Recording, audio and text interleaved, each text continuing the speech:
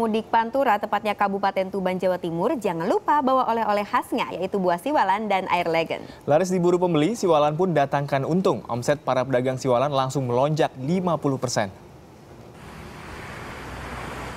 Buah lontar yang akrab disebut siwalan termasuk kudapan yang laris diburu pemudik di jalur Pantura. Kenyal dan segarnya siwalan berjodoh dengan air yang juga diambil dari pohon lontar yaitu legen. Disebut legen karena rasanya legi, kata dalam bahasa Jawa yang berarti manis. Siwalan dan legen banyak dijajakan di jalur Pantura Kabupaten Tuban, tepatnya Desa Kedungobo. Untuk menikmatinya, siwalan harus dikupas hingga tersisa daging lembut transparan siap lahap. Soalnya enak. Terus yang kedua itu asli dari Tuban sendiri mas. Dan di sini juga banyak pohon-pohon siwalan yang bertebaran di Tuban. Untuk menambah kesegaran, buah ini juga sering jadi campuran minuman segar.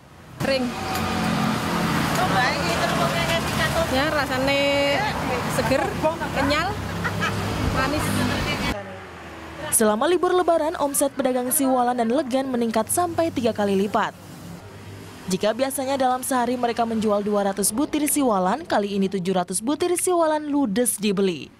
Kalau bikin khas ini buah ini sebetulnya tahan lama dan selain bisa dimakan langsung juga bisa untuk campuran es buah dan khasnya lagi tidak semua daerah ada buah ini.